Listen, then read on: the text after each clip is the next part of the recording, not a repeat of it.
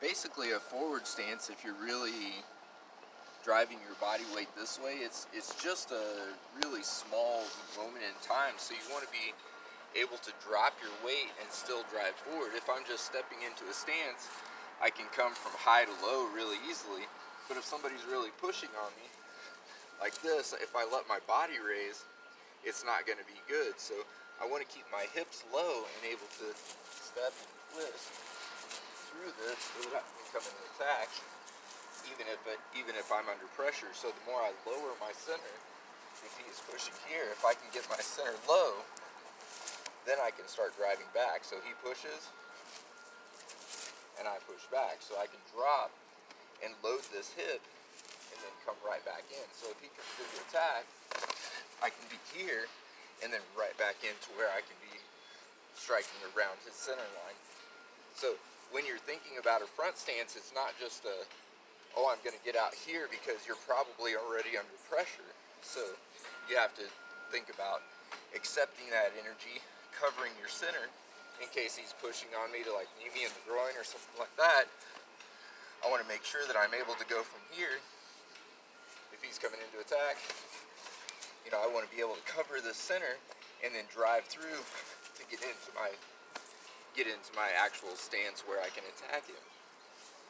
So if he starts coming forward, I may want to be outside him to where I'm dropping my weight back.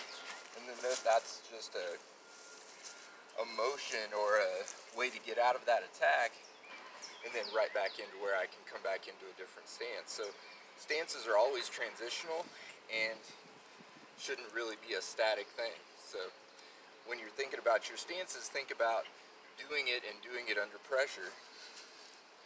You know, where you're staying low and you're transitioning from stance to stance, that's what these are for. So I can come on in. So if he starts pushing me, I get my weight and I keep it low, and then I can come in and I can attack on this side, you know, like this, or I can attack on this side, like this. But basically working on our Nahanchi stances, where they're like this, and working our hips across, if he comes in to push, I can be pulling his weight down, and then when he comes back, I can be attacking him and coming into that side and getting out of the side of his attack. So when you're doing these stances, trying to stay low, create that tension, and then snap through, come back to a strong point. Maybe you want your energy to go in two directions like Shiko. So turn the hand and you can be driving in this way. Or if you're wanting to control him on this side so you can pull him into something and then strike so you have like a little workbench and a way to come in and create power on this other side so you get to snap your hip, you get to hold, you get to control. So stances are very versatile, but we have to make a strong posture and strong position to work from.